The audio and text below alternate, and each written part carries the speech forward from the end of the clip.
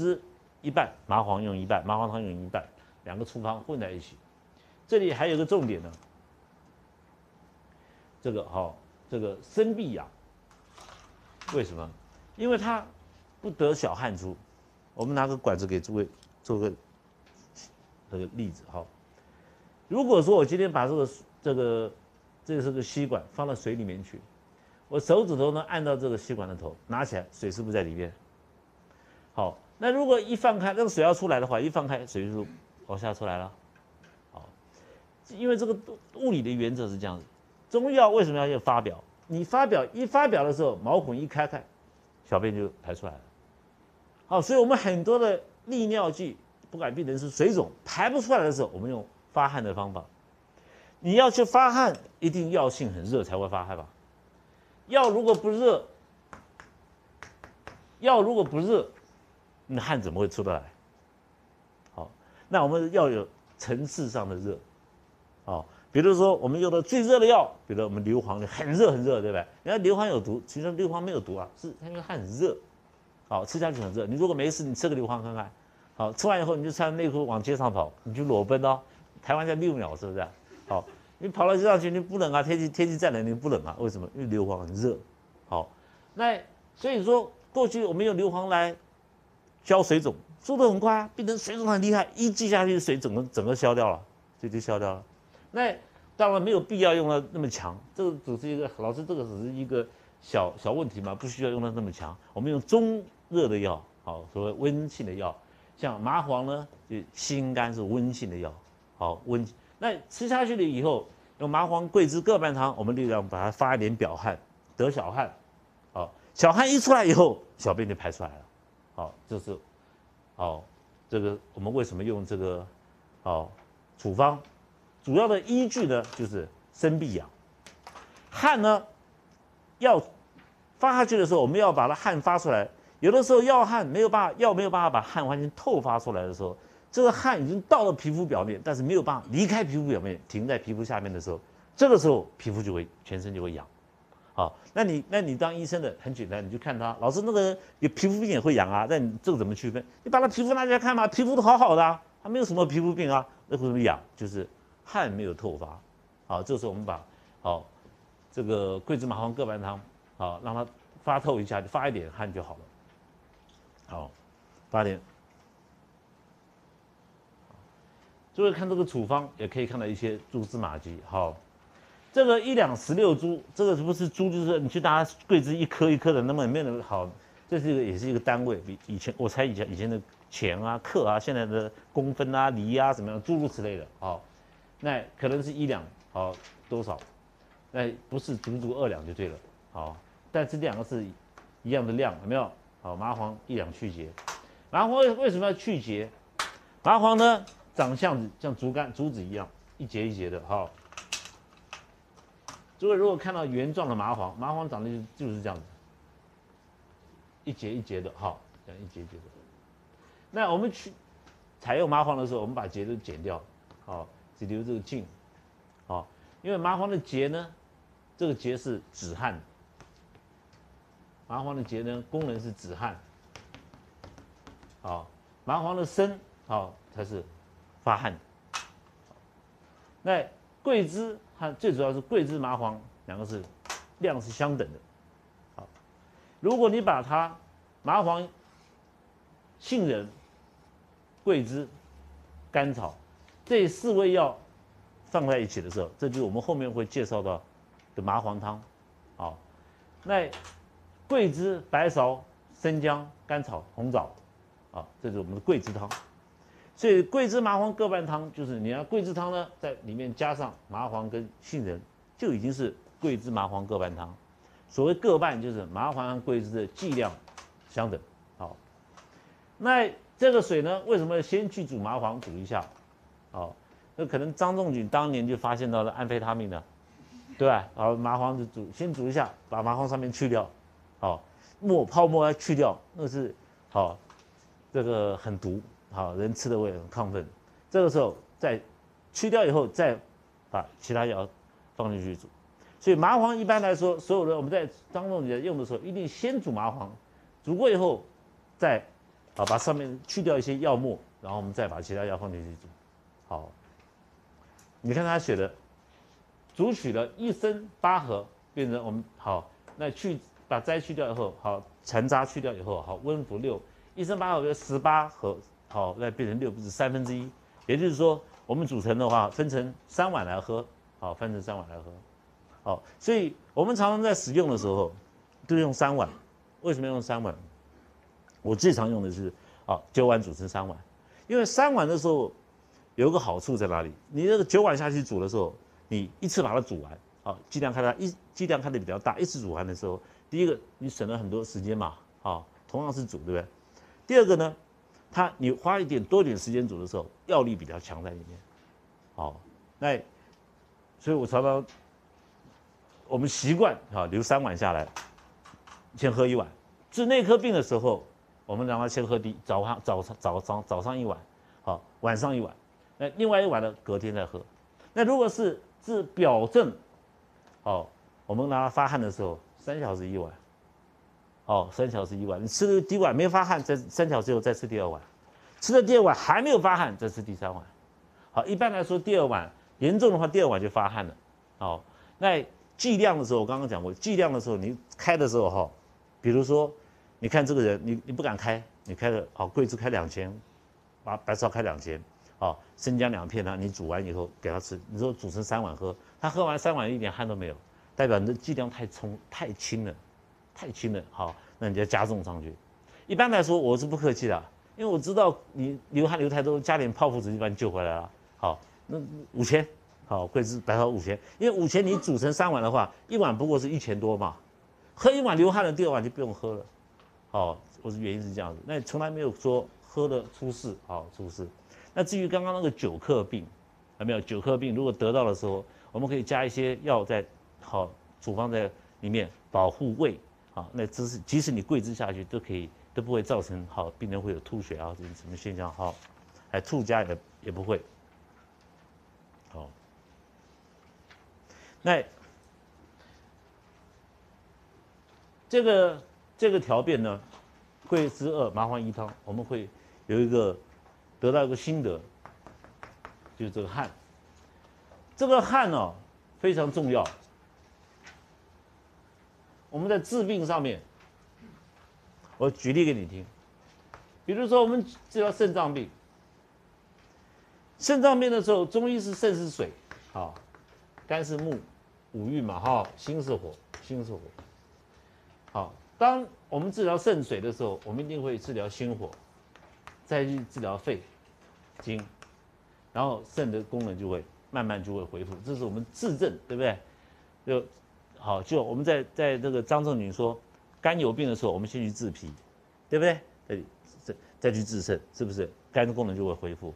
然后张仲景就说，以此类推，这就以此类推嘛。好，我们知道肾脏，我们先去治心脏，好，再去治肺脏，对，好，肾的功能就会回来。我们身上的汗是心液、心之液，所以当心脏功能很好的时候，我们可以从病人排汗的正常与否来决定心脏功能好不好。好，所以肾脏有问题的时候，你那个病人啊，你问他你会不会流汗？啊，不会流汗。他在在运动再怎么样子走了走走，当然没办法走十公里，那病人已经很虚了嘛，走了一迈两迈，一点汗都没有。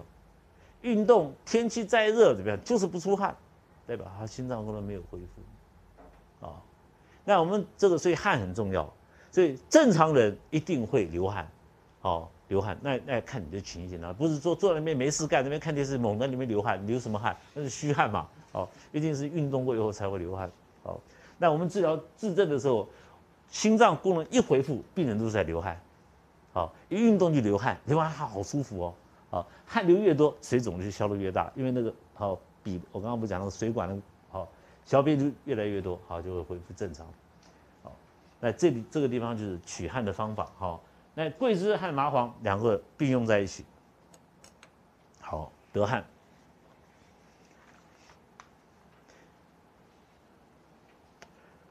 这个方子哈，诸位到时候。记一下，待我们介介绍到后面伤寒介绍麻黄汤的时候，我还会回来再讲这个方子给诸位听。好，好，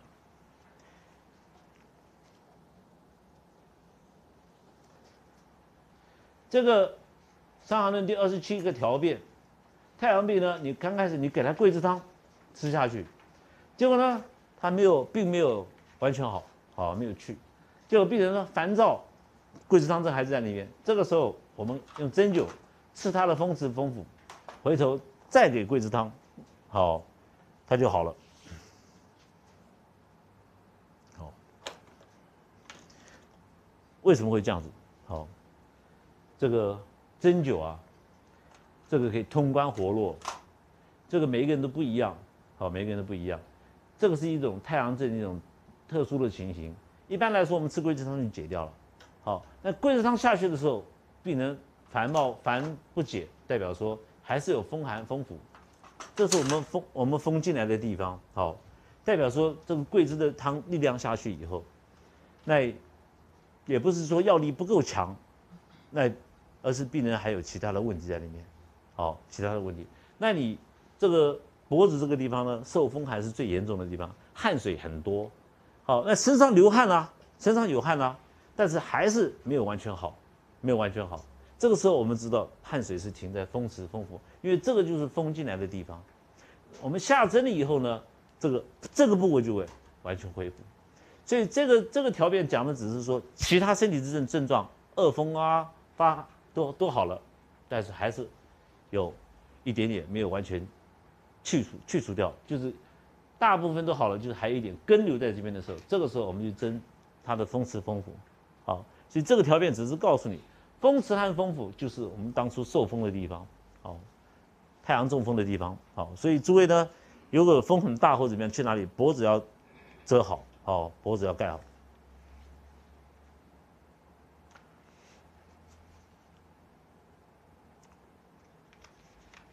二十八条，如果吃桂枝汤没有出汗，那反而变红大的，好，再给桂枝汤。那如果出现了忽冷忽热，隔日再发，汗出必减，好，桂枝二麻黄一。诸位，如果说当你看到桂枝汤，桂枝我们用了二，麻黄用到一的时候，桂枝的剂量比麻黄多的时候，一定病人是。热多寒少，病人感觉到冷的时间比较短，好，可能十分钟、五分钟、十分钟就冷的现象就没了。可是有一个小时、两个小时在发热，所以二十八条，当你出现病人感觉热多寒少的时候，就会用桂枝二、麻黄一汤。好，那你同样的，你如果出现热很多很多，寒只有一点点，你麻黄就减量，桂枝就增加。好，这个桂枝量你可以自己调整的意思，调整的意思。好，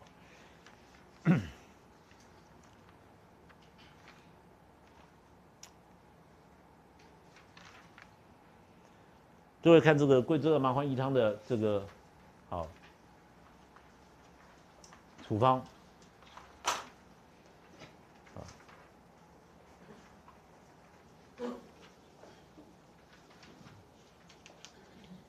哎，这里没有那个处方哈，OK，桂枝麻黄各半汤，OK，没有没有这个处方。那桂枝的量会比麻黄加重，诸位看书上哈，这个这个桂枝呢一两七一两十七株，我们如果以三钱来说的话，白芍也是两钱，白芍量比桂枝少一点，哦，那麻黄呢把它当成一钱，就三二一的比例，好，三二一的比例。好，杏仁是三钱。平常我开这个处方的时候，我们桂枝三，好，白芍二，好，白芍二，麻黄是一钱。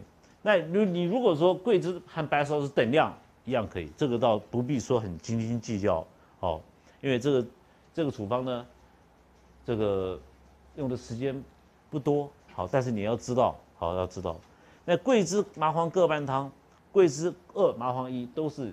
中风和伤寒同时有这个现象出现的时候，我们才会使用它。好，那剂量的大小啊，诸位可以做调整。好，那张仲景只原则只有桂枝麻黄各一半，或者是桂枝二麻黄一。好，并没有桂枝三麻黄一啊这种现象。好，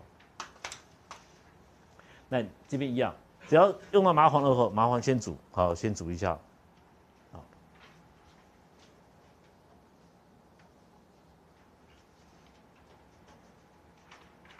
伤寒论》呢，第二十九条。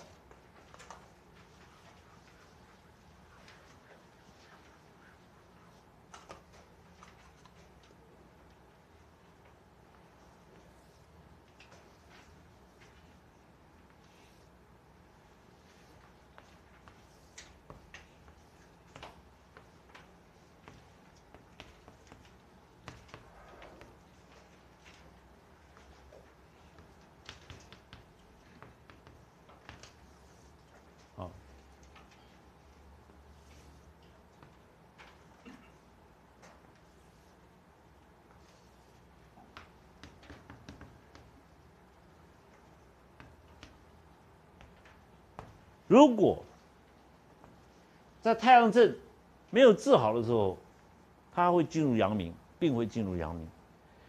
进入阳明的时候分两种，好，进入阳明分两种。第一种呢，诸位记得逆行是病态，好，如果是顺气六气是顺的话，是正常是常态，哦，现在他倒着走。当太阳症没有好的时候。它会进入阳明，好，一种可能就进入阳明，还有一种可能进入少阳。当进入少阳以后呢，少阳在这边，好，才会呢有机会进入太阴、少少阴和厥阴。如果进入阳明的时候，会分两种情形，一种呢，我们称为白虎，一种我们称为辰气，好，辰气。那这个辰气跟白虎呢？哦，我们怎么样子去看它？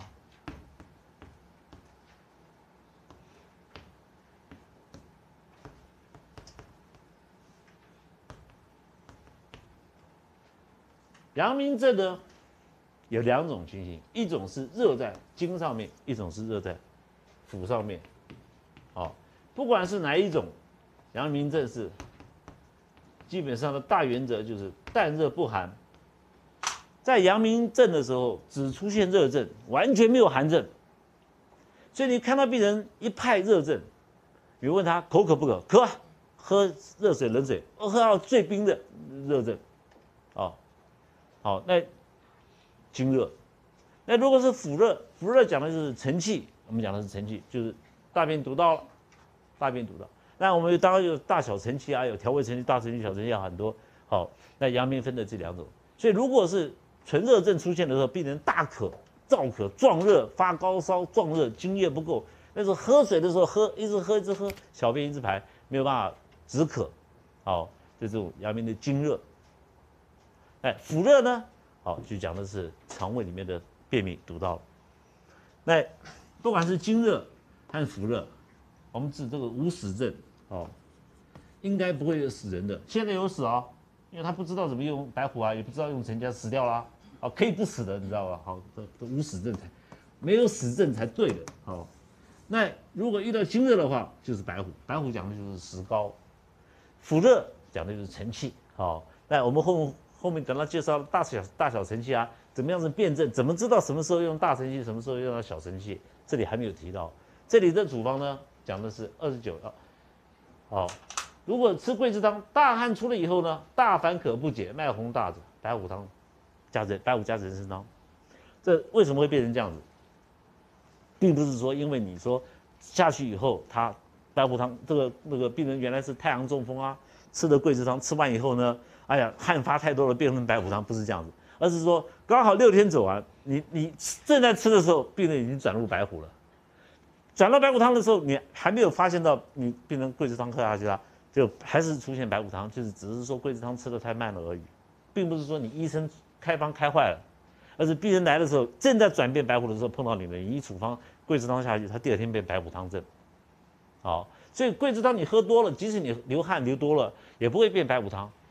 流你流汗流多了，里面那个理虚的时候，我们加点泡附子就好了。好，那这个是好，它转变成白虎汤。那如果是主要症状是大烦渴不解，脉洪大，好，那。如果说你看到有人呢跑来老师这个大反渴，你看他渴得很厉害，一直喝水，喝了半天还不能止渴，哦，这看来很像糖尿病，是啊，是就是糖尿病啊。可症的时候，我我在开石膏的时候哈，好石膏，我起价就是一两，谁谁给你什么什么五钱啊、三钱啊、八钱？那五钱、三钱、八钱都是漱刷刷刷牙漱口的，哦，你根本止不了渴，哦，一开就是上两，哦，我是我讲的是讲我们用了白虎的时候，好，那为什么要用大剂的？因为它是去热，它去热。你在去热的时候，我们会用到白虎汤的时候，病人有壮热，壮热壮热的时候，病人高烧高了很烧了很厉害啊。好，有的时候小孩子发烧，或者病人发烧，你去看他，他全身烫的，对不对？然后喝冷水，然后被子盖到，他盖着被子不放，恶寒啊，这不是白虎汤症啊。所谓恶热，就是壮热的把被子都踢掉，不能盖东西，全部是一派热症，才是哦白虎汤症，对不对？你如果把给他给他被子盖上去，他开始踢啊，怎么样？他是哦，你确定是白虎汤？你可以再试一下。你有时候病人不讲话啦，啊，不是脑因为太高热下，病人会沾语啊，胡言乱语，讲不清楚。那你问他也问不出来啊，你可以看他的动作就可以知道。啊，那我们这边的望不是说一定要望它的颜色怎么样？你看他一些动作就是 common sense。哦，他已经在踢被子的，已经在盖被被子都盖不住，你还说你你怕冷吗？你还是问这个问题，对不对？老师，那已经告诉你，我回答你了，对不对？踢被子的，好。那白虎，白虎汤里面呢，好，注意看白虎汤的处方，白虎加人参汤呢，里面有知母、石膏，哦，这个甘草、跟米。这个石膏呢，我们为什么要用棉布包起来？因为石膏是像石类的白粉一样，那煮下去以后，黏哒哒的跑出来，好像那个。就是石灰哈，就是我们平常互相的石灰，然后你把它弄点水，黏黏哒哒的，对不对？汤就汤药都倒不出来，因为黏黏的，倒出来就是白白，啵啵下好，所以一那个很粘稠，所以你要用棉布把它包起来，这样煮出来以后，汤才会稀。好，这第一个。第二个，为什么要用粳米？好，我一再跟诸位讲，在中医的观念里面。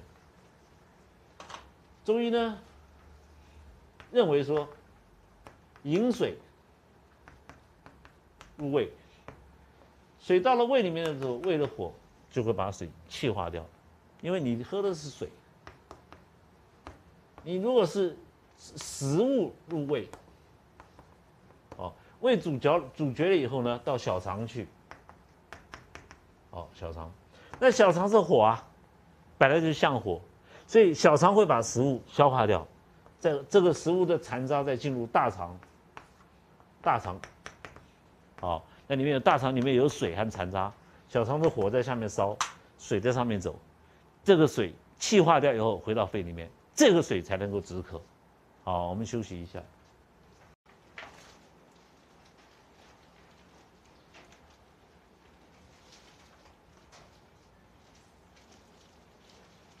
这个白虎白虎汤，哦，跟白虎人参汤，什么时候会用到人参？这个处方在里面有人参哈。诸位看这个图，当饮食入胃以后，到了小肠，小肠把它消化掉以后，只有食物的残渣跟水进入大肠。那小肠的火在下面烧，大肠的水在上面的水气化掉，所以。中医的身体跟西医这个地方是一样的。西医说大肠把水吸收掉，啊，只是中医认为说大肠没有那么聪明嘛。然后你吃吃猪大肠吃完，你你就大肠那么厉害，就光吸收水不吸收残渣，为什么？原因就是火在下面烧，所以水是气化上去的。中医讲气，啊，气化上去以后，从从大肠进入肺，再从肺到我们的皮肤表面，到我们的喉咙，好，津液就回头。所以说。后面的时候，你看他在这个处方里面的时候，张仲景在用白虎汤的时候，有加什么？加这个粳米，就是糯米甜的这个米，好，这个好像是煮稀饭一样，是不是煮稀饭一样？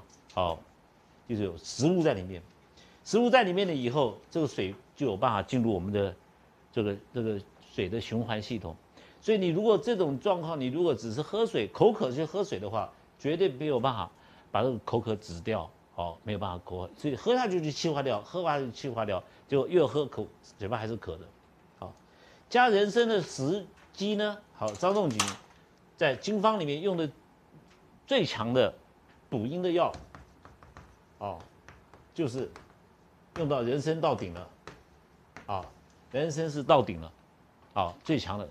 那会使用到人参，因为病人他就认为说病人精液伤得很重，经伤得很重才会用到人参，所以一定是大汗不止，大烦渴。你看汗大汗出后大烦渴不解，好口渴不能解，这个时候我们用人参下去把他的精液补回去，否则平常他不会使用的啊，不会使用的。那如果说今天我们不用人参，遇到个病人。发高热、发高烧，全身是淡热不寒，发高烧，大便很正常。我们知道他是白虎汤，因为为什么？因为淡热，他你问他怕不怕冷？不怕。风吹的难不难过？不难过。他多吹风，风吹多点还很舒服。为什么？因为它很热，啊，也没有没有恶寒。那发高烧，大便很正常。这个时候我们用不用不需要人参，光是白虎汤一剂下去就可以把这个烧退掉，好烧退掉。那。里面的知母呢？好，诸位看，诸我们一般来说，这个石膏，我我最常使用的处方的时候，我石膏用一两，知母大概四钱五钱的剂量就够了。好，四钱五钱的剂量。好，那这个炙甘草，好两钱啊三钱，好治过。好，这个这个粳米呢，你不要放太多，它太多煮成干饭了，因为那个汤都吸收掉了嘛。哦，所以你这个六六六盒，你不要分着放六碗下去啊。好，差不多两钱三钱就可以了。好，不要把它真的这个煮成干饭，那怎么吃？好，你看它煮米熟汤成，去残渣，喝的是汤汁，看到没有？好，所以是很稀的稀饭。好，白虎汤用的非常多。好，所以我们石膏，因为石膏颜色是白色的，啊，我们又名白虎。好。这个三十页啊，第三十条，抱歉，好，第三十页。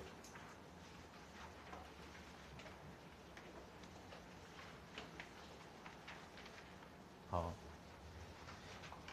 这里的太阳病发热恶寒，热多寒少，烦躁脉为弱者，此无阳也。好，不可以发汗。好，这个诸位记得我刚开始的时候，我跟诸位讲。《伤寒论》里面讲了阳盛还阴盛，还有王阳跟王阴。这个好阳没有了，我们怎么知道还阳没有了？好，发热恶寒，你热多寒少，阳在的时候，这个这种热多寒少呢，好是阳往外走，好阳往外走，那里面阳不够了，所以说你看到是热多寒少，病人会有烦躁的现象。诸位记得哈，生病最怕就是烦躁。